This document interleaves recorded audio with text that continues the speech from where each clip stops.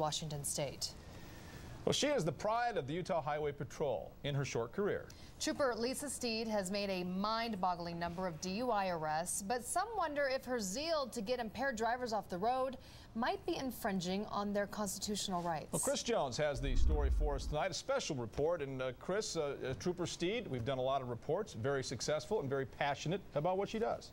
Yeah, she's absolutely dedicated to getting drunk drivers off the road. She's been a trooper for eight years, and during that time, she has arrested 800 people for DUI.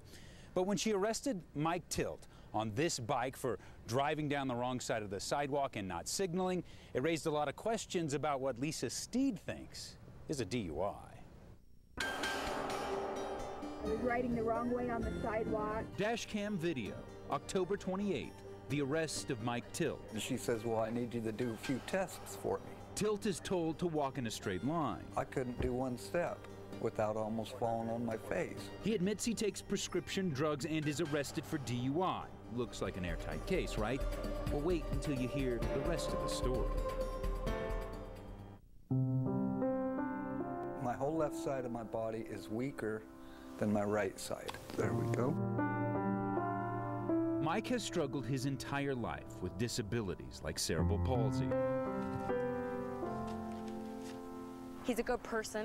A good person who voluntarily traded in his driver's license 15 years ago for an electric bike, his only mode of transportation. This guy's on a motorized bicycle. He's pulled over on that bike by Trooper Lisa Steed. And I've always been kind of lopsided on everything I do. One leg is shorter than the other, and Mike tells Steed he will fail this test, and he does. He also tells Steed he has a seizure disorder. Steed, it appears, is building her case and asks if Mike takes medication. I says, yes.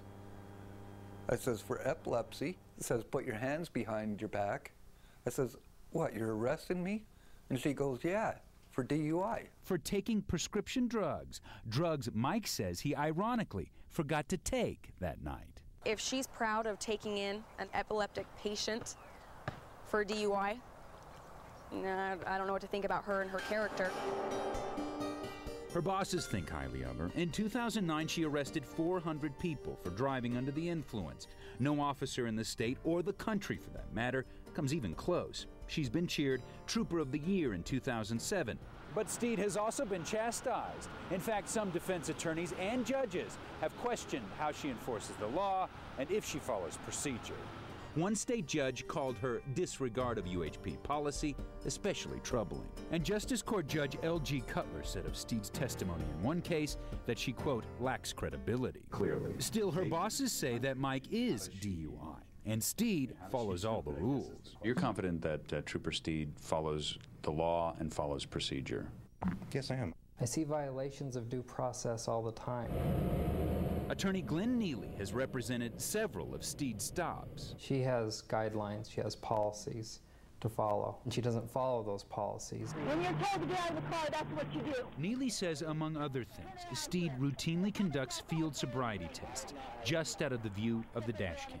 He says that way it's always her word against yours. That's very disturbing to me. Now remember, initially the UHP defended Steed, but our investigation prompted their own inquiry, and UHP bosses called us back and asked for a second interview. Was it consistent with what we're trying to do with our overall perspective of DUI enforcement? In review of it, no, it wasn't. This individual will not be prosecuted for DUI. I feel a lot better, but it still just kind of irritates me. So Mike is off the hook. But what about Steed? She gets a talking to, we're told, but is not punished. And this unsettling case begs the question are there other problems in Steed's ticket book? I mean, what if we were to pull other arrests? Do you think that we'd find similar concerns? You would see very thorough, um, very accurate, and very good arrests made for DUI. My question is, is if she's protecting us from the dregs of society, who's protecting us from her? Now, we've talked to some defense attorneys about this case, and they say, you know, even if Channel 2 did not get involved in this case, they feel that the charges would have likely been dropped, but not until after a long court proceeding and not after uh, Mike had to spend thousands of dollars on attorneys and court fees. As for Steed, she remains on the force in good standing. She was not made available for an interview for this story. Back to you. All right, Chris, thanks. Time to talk a little bit about the weather. And there, for once, there's a lot to talk about instead of just mild and in the 60s, right? Yeah, it was, Huge it was- it's like, wait a minute, this is November. We need some storms. Yeah. Well, we've got a storm in here. T- uh, check out some of these rainfall totals today from our WeatherBug stations. Amazing. Centerville 1.28, North Salt Lake 1.15. And while you're reading those, let me tell you that the Salt Lake International Airport had 0.87 inches of rain today. That was a record rainfall for this date. And also, we had 1.78 Cottonwood Heights. Here's some other amounts down in southern Utah. Cedar City 1900s, but they're getting a big snowstorm right now in Cedar City. 1900s at uh, Camas, uh, 1800s at Milford,